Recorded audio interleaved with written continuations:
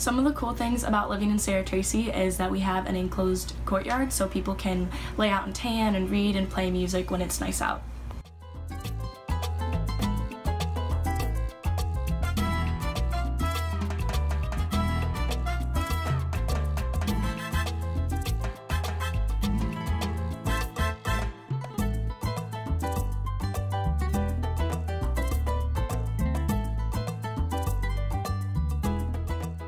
Doors are always open so that you can always get to meet new people and there are always activities going on in the lounge like um, hot chocolate or spa nights that the RAs put on.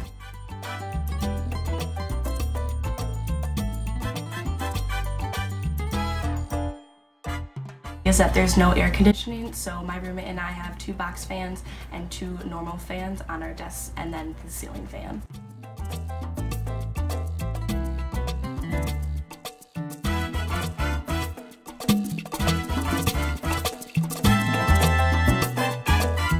Sleepover with some of my volleyball teammates and we all put pillows and blankets on the floor and watch movies.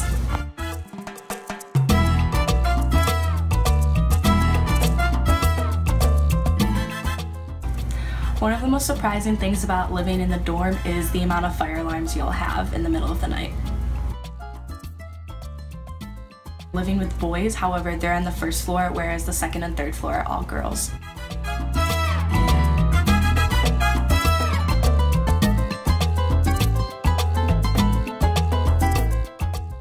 I go to the bathroom to brush my teeth or when I like walk through the halls, I'll be able to like make new friends that I wouldn't normally get to meet that aren't in my classes or aren't on the volleyball team.